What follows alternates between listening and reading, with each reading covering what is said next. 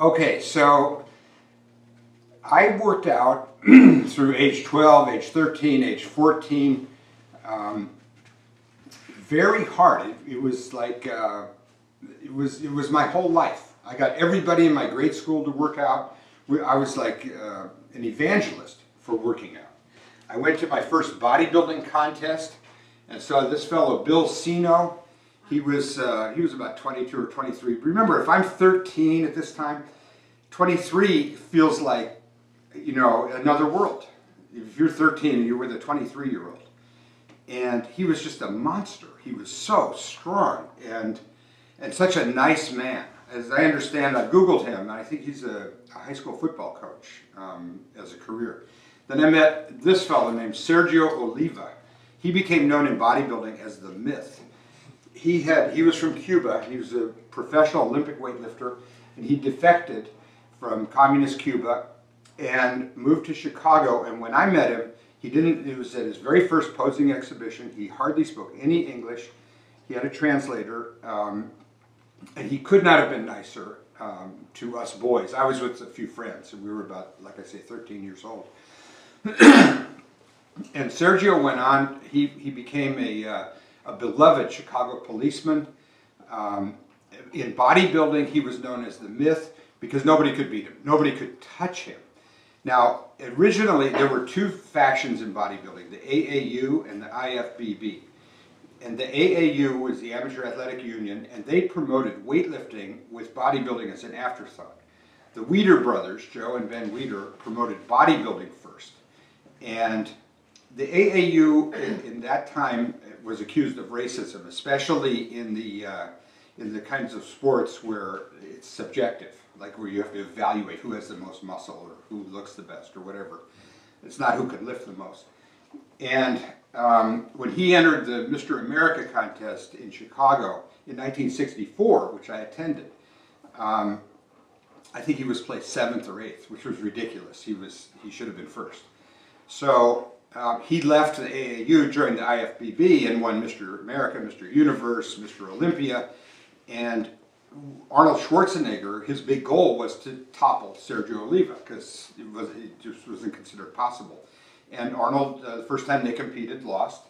And then, but he was a very smart guy. He analyzed what Sergio did right, what he did wrong, and he kept training hard, and and eventually overtook him. And Arnold became Arnold. Uh, but Sergio was up at that level, and I met him like when in his very first posing exhibition, and like I say, he couldn't have been nicer.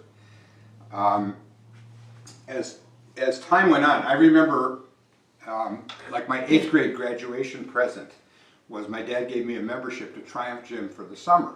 So every day I would take the L downtown and work out at Triumph Gym. I met another kid about my age named Rocky.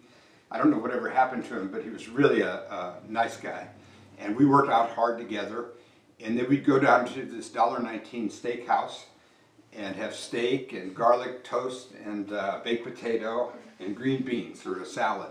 And, and I just felt like such a big guy, you know, lifting weights and getting blood flowing through my system. And, and um, because remember, I, would, I, I forgot to say, I was very small to begin with. Um, and that's one of the reasons I think people become bodybuilders. I remember talking to a fellow who was a psychiatrist who was a big bodybuilder and a great guy um, at the old World Gym. We were standing outside and I said, why do you think people become competitive bodybuilders? And he said, I think it's overcompensation. They start out small and they want to get big. Um, he said, I don't think it's an accident that Arnold's father was a police chief and Lou Ferrigno's father was, a, was in the police and they want to measure up, you know, and get big. Um, and that, that, made a lot of sense to me. I remember, um, well, just training hard and enjoying this and having surrounding, I had created a home gym down in the basement of, of my parents' house. And this is what I was living for. But as I got older, what happened was I lost control of my schedule. Um, I, oh, I know. I wanted to go to, to high school downtown Chicago because that way I could work out at Triumph Gym. And my mother was an Italian Catholic, and there's no way that she would let me go to any school in downtown Chicago unless there was a religious reason. Well, I found out there was a seminary called Quigley North. So I said, oh, I'll, I'll become a priest. So, so I went downtown every day so I could go to Triumph Gym and see Rock Stonewall every afternoon. The problem was at Quigley, you know, I was on the swimming team and the rest, we did wrestling, we did soccer, we did track, baseball, and so I didn't, I couldn't do that. I wasn't allowed to. I was only, you know, 14, 15. And that was very, very frustrating. Um, the summer of 1965, the whole, my mom took all eight kids to France. And we, we were in Cap Ferret, which is at the very south of France, about an hour south of Bordeaux. And I did a lot of freehand exercises and went to the beach and tanned a lot, but uh, there, there was no gym, no way for me to lift weights. So I would just read these muscle magazines and, and dream of what I wanted to do. Then we come back to suburban Chicago and I transferred to Loyola Academy in Wilmette. I went there, I remember uh, my frustration was I was 15 years old and I was late in, uh, in going through maturity or puberty or, and, uh, and I was small. And here I had done all this work for so many years. And like I'd stand next to Bill Murray, the famous actor and comedian. He was a classmate. And he was, he was kind of a bully. He was on the, he, he was probably six feet, six feet one, 175, 180 pounds, lots of muscle because he was on the football team. I was five feet tall, 105 pounds, maybe 115 if I put on extra clothes. And here I had been all, the, and so I got really discouraged. Uh, Murray was, I remember, he was very funny in high school. Um, I didn't know him well. My, one of my best friends was Luke Matthews, and Luke and Bill were, were super close. So the extent to which Murray was a bully, Luke made sure he never bullied me. But still, I think unconsciously I was thinking, this is, this is crazy. I've done all this work and there's no result. Even though now, if I look at pictures of myself then, I think, well, no, I really had made progress. If only somebody had looked at that and given me proper guidance, and if somehow I had been in the right environment. All right, now then I go about my life. I, I I you know went to a couple of other high schools, finally got it together, um, went to college, business school, and was succeeding in business and succeeding in journalism as a reporter and editor. And then I was hired at the Los Angeles Times Syndicate. Uh, I started a family, but I wasn't working out hardly at all.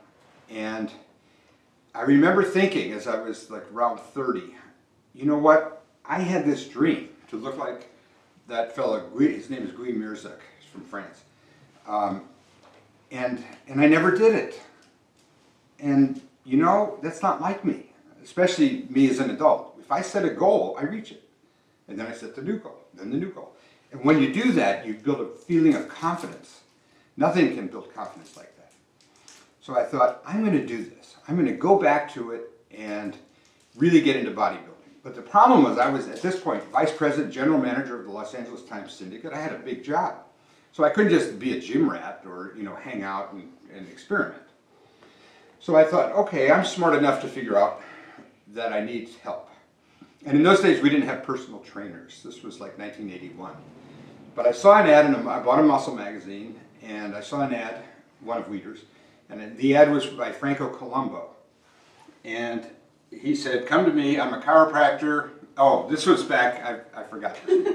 this was back when, when I was like 13 uh, years old and I got my picture and story written up uh, in a magazine. There you go.